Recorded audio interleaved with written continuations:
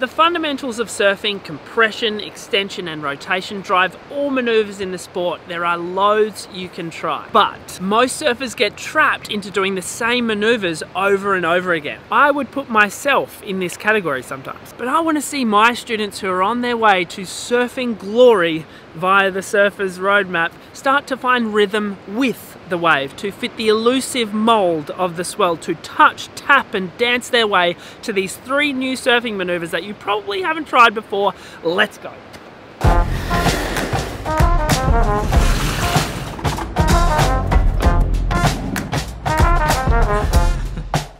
This video is brought to you by my online surf school, The Surfer's Roadmap. Whether it's taking your surfing rapidly from beginner to intermediate in one day, or joining us for surf flow movement sessions to increase your surf mobility, thesurfersroadmap.com is your go to for all surf progression. Join over 6,000 students smashing their surfing goals via the link in the description below. Number one, a roundhouse cutback. A roundhouse cutback is what some old school advocates would call a real cutback. It involves not just wrapping off the top of the wave and finishing the manoeuvre halfway up the face, but actually hooking all the way back to the whitewater and rebounding off it with an additional turn. When I'm at the wave pool, I try to encourage surfers who don't commit enough to their top turns to try a roundhouse cutback. This immediately gets them looking back to the pocket at the very least, if not rebounding off the foam. And that's a key step here. It's to look and point all the way back to the whitewater behind you during the cutback portion of the turn.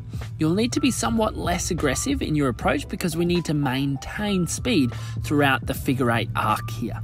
A key moment that I'm looking for is to get the leading arm over the whitewater on the rebound in order to get that nice boost of speed as you change directions to continue riding the wave. 1. Compress. 2. Extend. 3. Half compress, look and point back to the whitewater.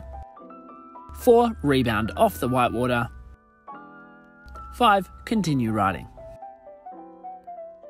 Number 2, and this is actually by request, a floater.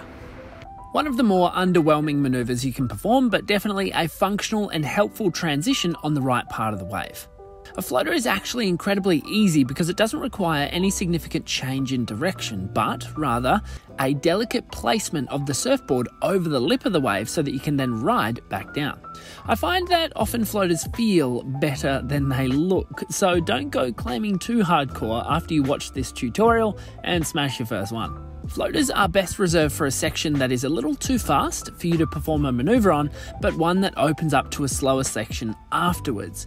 It can also be performed as a finishing manoeuvre on a closeout section as well. Key feature speed. Floaters are safest and coolest when you're going fast, and that's because you're actually going to put your surfboard up here on the lip of the wave, which is basically dead water.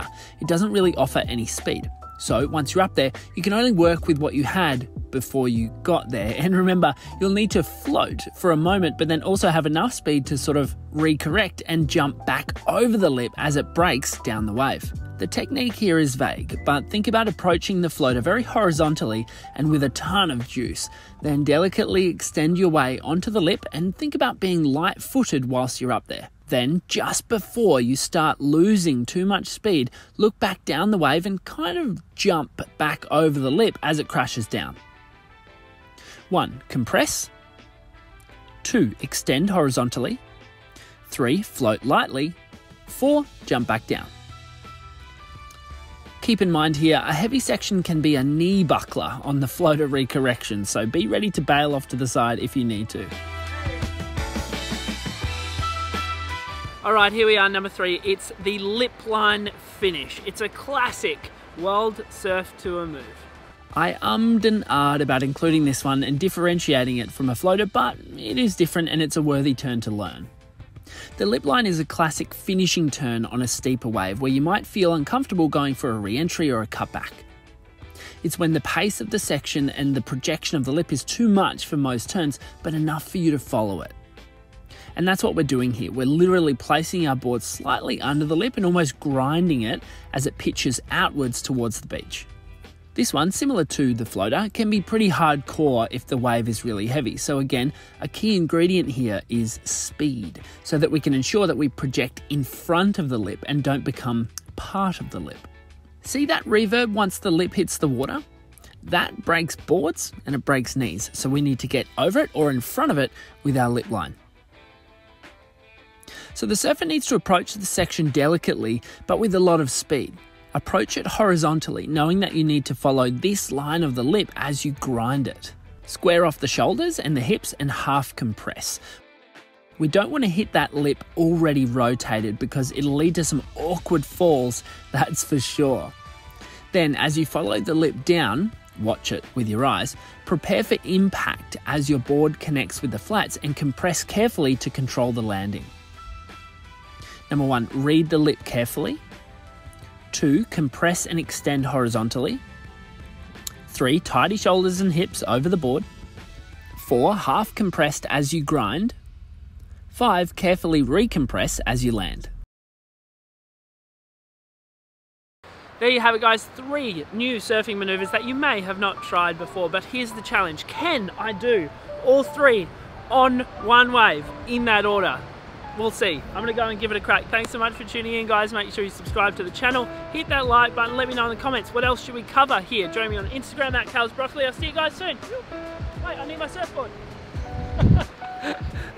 This video was brought to you by the Surfers Roadmap. It's my online surf school built for you to take your surfing to the next level, whether you've surfed for one month or one decade. It doesn't matter, progression is still possible for you. Check it out via the link in the description below.